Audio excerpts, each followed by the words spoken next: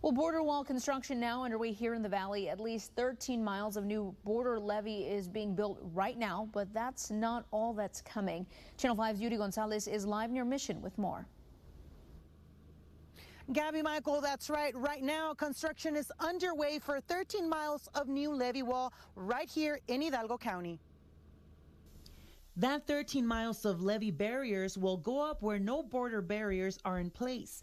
Contracts have also been approved for another 85 miles of new construction across the valley.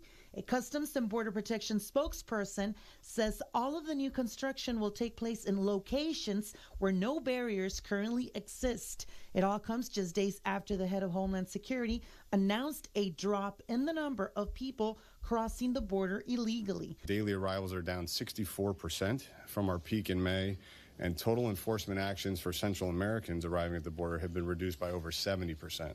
Authorities credit changes in immigration law with the decline. So far, no completion date has been given for any of the new projects.